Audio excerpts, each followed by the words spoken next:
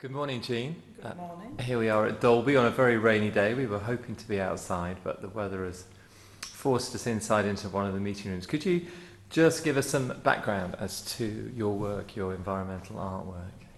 Well, my name is Jean Harlow and I'm a local artist and my focus is on, um, I'm very interested in natural history and also science as well as art. So my early work was very much based on natural history illustration, but more recently I've moved into looking at new scientific ideas.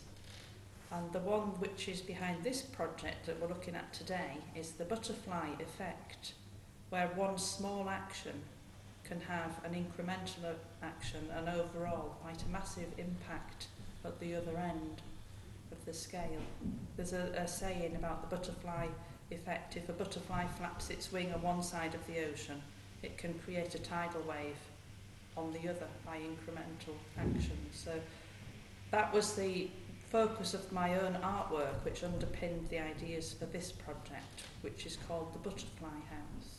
And did you have sort of a, a eureka moment where you thought, yes, I can use that in a, in a I'd been, I did in a way because I'd been thinking about, um, I wanted to do something high impact with butterflies, which involved other people participating. Um, my initial idea was to do a flat two-dimensional piece with each member of the public making a butterfly, but painting them on canvases, and then covering a wall to make a huge flock of butterflies. But then I had this idea that if I did it in in small groups, it could link more to the butterfly effect. And at the end of it, rather than having a flat piece that goes on the wall, I could create a 3D installation piece. So each group which made a flat section of the wall, the walls could go together to make a house like this. This is my little model gazebo. Obviously, the house that I've, the gazebo that I've got is a square shape, rather than this and it has walls. So each of my focus groups have covered the walls, a wall each with butterflies and together, when I put it all together later on, I'll construct a butterfly house. So the process of the butterfly effect, each individual person who's contributing a butterfly that they've made like this, together, then it grows into quite a big art installation similar to that idea of the butterfly flapping its wing on one side of the ocean. But the project doesn't stop there. The idea behind the project is that those people that contribute to making the art installation receive in return something like this, which is a small packet of seeds. Um, these are seeds that I've mixed together from two different sources which will all grow into wildflowers and grasses to support real life butterflies. So the exchange and the continuation of the butterfly effect is that the people who participate go away, they take away a packet of seeds to encourage butterflies to come into their garden.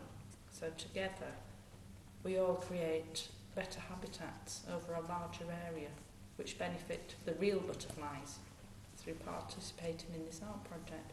So my work really focuses on those real links between science and art and how we can have a relevant impact on the environment through participating in art projects. So, that, but the North York Moors in particular, there's some particularly endangered butterfly species that you've been focusing on. I have. I've been working with local schools and um, when the schools have participated in this project, which is making um, butterflies out of the recycled materials. Maybe we can talk about that later on. I've also spoken to them about the rare butterflies, the endangered ones, which are very local to the schools in the North York Moors National Park. So my particular focus group has been on clusters of schools at the southern edge of the park along the A170, Helmsley Primary School, Pickering Juniors, um, Snainton Primary and Thornton Dale Primary, which are all along that southern edge, where you'll find some of the, the real butterflies just a little bit further north in the Dalby Forest. Um, those are the Duke of Burgundy butterfly. Um, there's some very good information being produced by Butterfly Conservation, who have an excellent website and they've been very supportive. The Duke of Burgundy butterfly is, is nationally very rare. I don't know if you can focus in on this distribution map. It's mainly found in the south of England, but there are small clusters up in the Lake District and the North York Moors.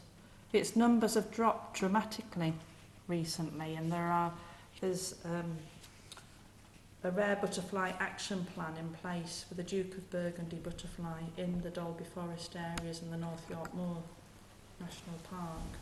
The other important butterflies are the pearl-bordered fritillary and the small pearl-bordered fritillary, and also one called the dingy skipper.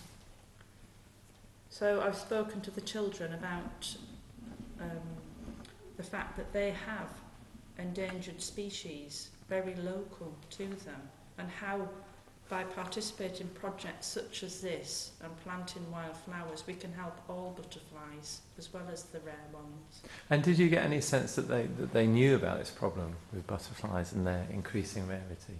I did, I did. There were individual children were quite knowledgeable about some of the butterflies, and I think because of they, they were quite local schools to the area, some of them lived close to um, areas where these action plans have been put into place. So they knew about some of the species. Okay. So that was really encouraging. And they were all very interested in butterflies and very interested in following up the project by planting different species in the school garden or at home to encourage butterflies into their gardens.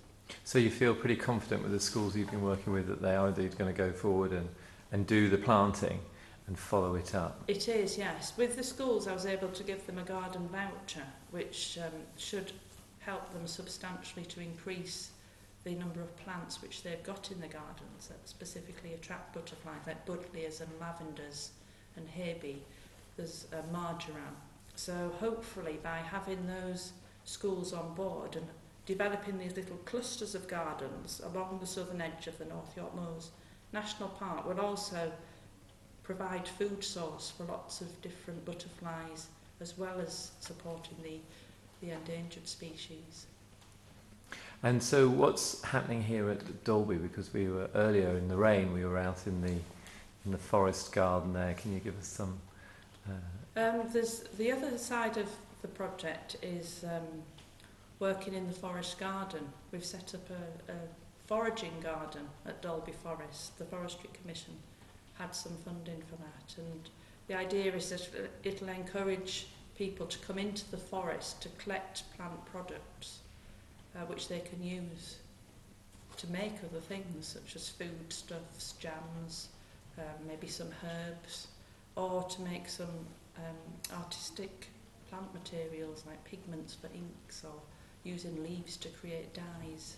So what's your direct involvement with that garden? What are you going to be doing here?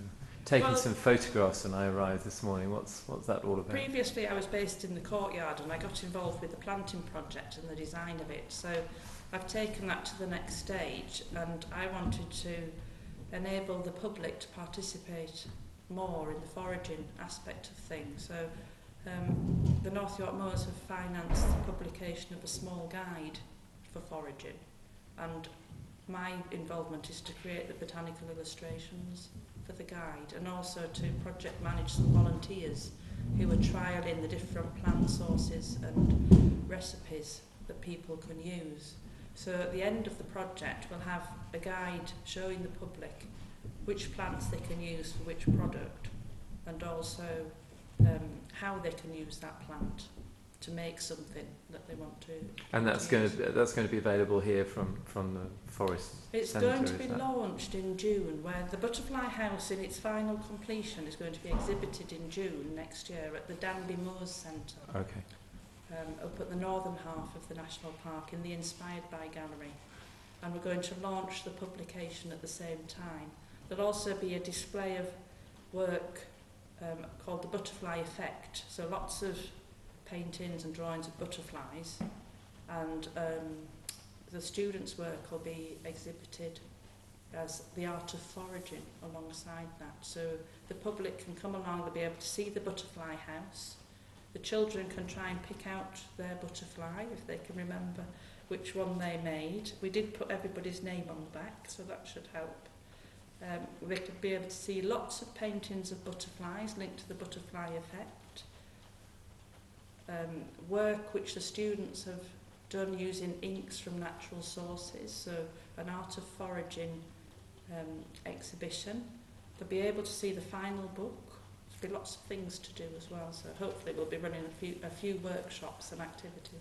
So even though the weather is uh, not good for butterflies at the moment, you've certainly got your work cut out over the next few months getting this publication I have indeed, yes. ready. A lot of illustrations to do. And um, well, it's already August, so I've got some plants to paint before the growing season finishes.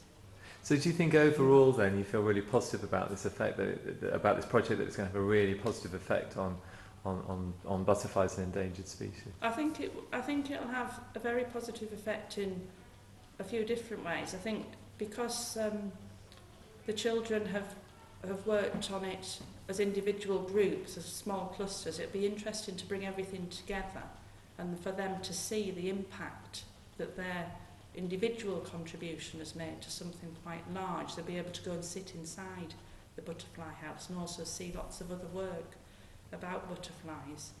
And we're fo- because we're following this up by making the gardens, and some of which might be filmed later on, another, um, another part of this project, it's, it'll be um, it's a long-term, ongoing involvement. So they will. I've not just gone in once to make butterflies. I'll, I'll be going back. I'll be returning to the schools to encourage the development of the real butterfly gardens and encouraging them to get involved in conservation of the actual real life butterflies as well. So it's linking art and science and making it really relevant to them and showing them how they can get involved in real projects.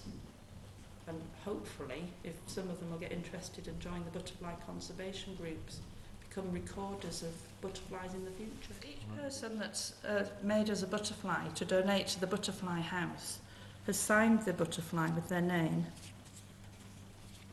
But obviously when they're mounted that will be difficult to see. So we I had commissioned this book which has been made from recycled paper. This is a motif that I'm using for the project. It's on this book and it's also on the packet of seeds. Right. And every school and child and member of the public at the different events I've taken the Butterfly House to. There's Helmsley Community Primary School's pages. Have all signed their names in this artist's Brilliant. book, which was made from sustainable paper. So we had a paper maker who Is that made this palpitations? for us. It was um, one of the, the um, artists who were researching the plant products made it for us. Okay. She's researching how to make paper from nettles, although this isn't from nettles. She's called Jade, Jade, based in Scarborough. It's a lovely record, isn't it? Of, And some of the Everyone's younger children who involved. couldn't quite write their names ah, were oh, look. signed, signed the, with That's their great. hands, drawing around their hands. They've even put little butterflies in for us. Oh, fantastic. So we've got, these are all the people that have participated, and I think, off the top of my head, I would say about 600 people That's that's have really taken brilliant. part and learnt about the endangered butterflies in the national park. And they've all taken away either seeds or plants which will attract butterflies to their own place where they live. So hopefully next summer might be a better summer with um, for the butterflies. Better weather. better weather. They've had it tough this summer. A Bit wet, a bit like the rest of us, but hopefully next summer we might see the impact of the project on So- butterfly numbers. That ripple turning into something much Into more a sus- tidal wave. into a tidal wave. tidal wave of butterfly wings flapping across North Yorkshire. Brilliant.